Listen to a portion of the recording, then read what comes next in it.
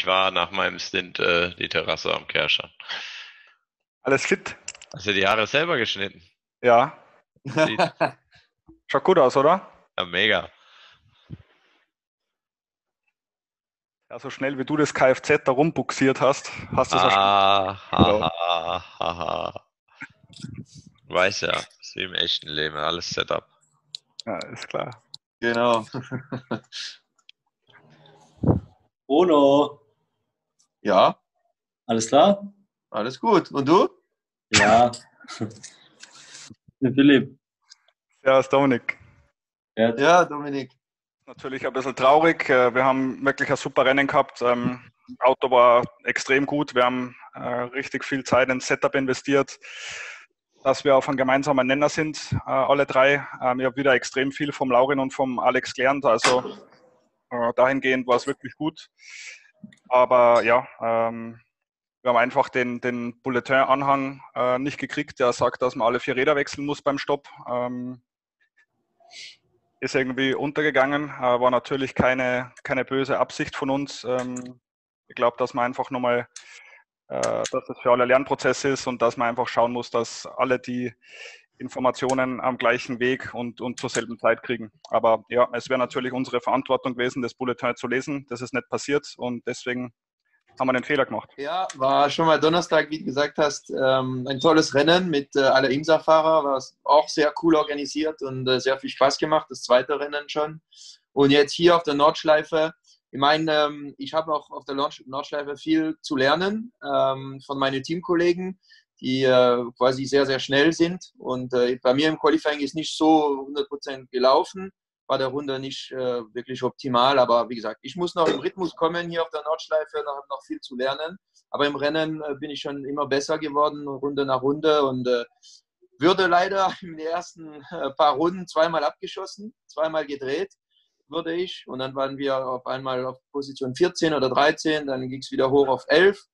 Und dann meine zwei Teamkollegen, der Nils Koch und äh, Kei Kaschuber, haben einen super Job gemacht und äh, sind äh, bis hoch auf vierter Platz eigentlich gelandet am Ende. Und durch die unglückliche Strafe von Philipp und sein Team, äh, dann sind wir am Ende Dritter. Aber für uns, ähm, wie der Anfang gelaufen ist, war, wäre Top 5 schon, schon sehr, sehr gut. Ähm, auf jeden Fall P3 sind wir super zufrieden.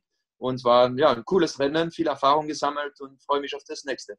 Ja, so direkt nach meinem Stint hatte ich riesen Hunger, dann habe ich was gegessen und war auch ein bisschen draußen in die Luft. Und parallel aber mit dem äh, Tablet oder mit dem iPad äh, draußen geschaut, den Stream.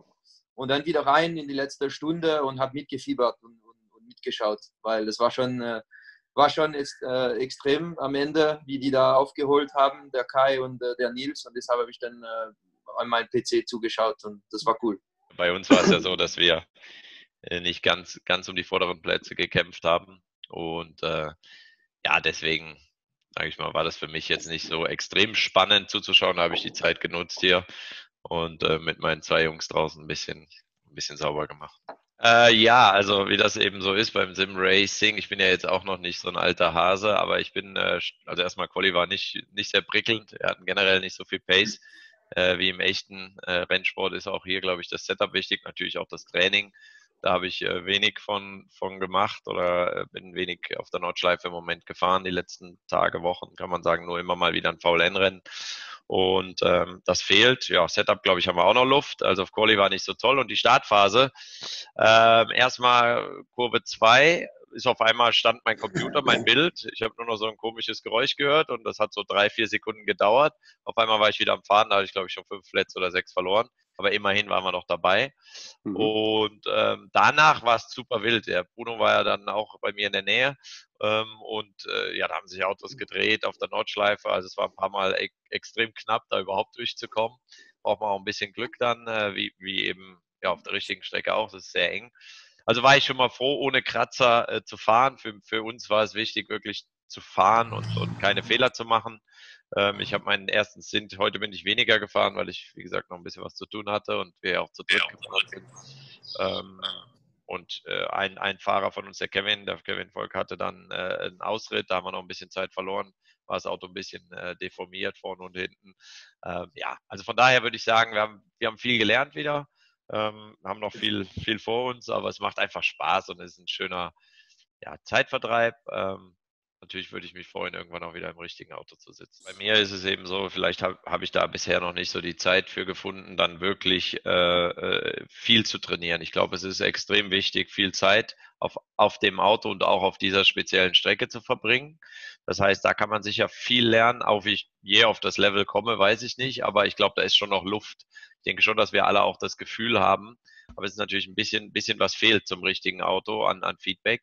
Und ähm, ich denke, man kommt sehr nah ran an die Jungs, aber die sind verdammt, verdammt gut. Und ich glaube, das ist wie eine eigene Disziplin am Ende. Und ein paar von denen wären sicher auch gut in einem, in einem echten Auto. Äh, gar keine Frage. Und ähm, von daher, glaube ich, ist eine Kombination. Bei uns muss man jetzt fairerweise sagen, bei Phoenix, wir machen das aus Spaß bisher und äh, da fehlt hier und da vielleicht noch so ein bisschen ähm, die Struktur und ich glaube, da kommt immer mehr. Ähm, das war wirklich so auch mit dem Richard Westbrook. Wir haben letztes Rennen sind wir beide aus dem Internet geflogen oder bei mir waren irgendwelche Updates, ist der Computer runtergefahren beim Fahren. Also so viele Sachen, die man da jedes Mal lernt, ja, so Basics. Und äh, wir sortieren uns immer mehr aus. Und ich glaube, jetzt geht es wirklich darum, mehr zu testen und auch tatsächlich am Setup zu feilen, weil da liegen schon krasse Unterschiede. Und was extrem ist bei, bei dem Spiel jetzt, ähm, dass die Streckentemperatur einen wahnsinnig großen Einfluss hat. Ähm, und ja, auch da müssen wir vielleicht noch ein bisschen was lernen. Also man muss da echt viel Zeit investieren. Äh, vom Rennen war es eigentlich gut. Äh, die Jungs haben eine super Aufholjagd gemacht. Äh, sind zwei Sim-Profis, die, die, machen keinen Fehler, nichts. Und äh, von denen kann ich noch viel lernen. Letztes Mal sind wir Zwölfte geworden, das Mal Zehnter. Also es geht bergauf.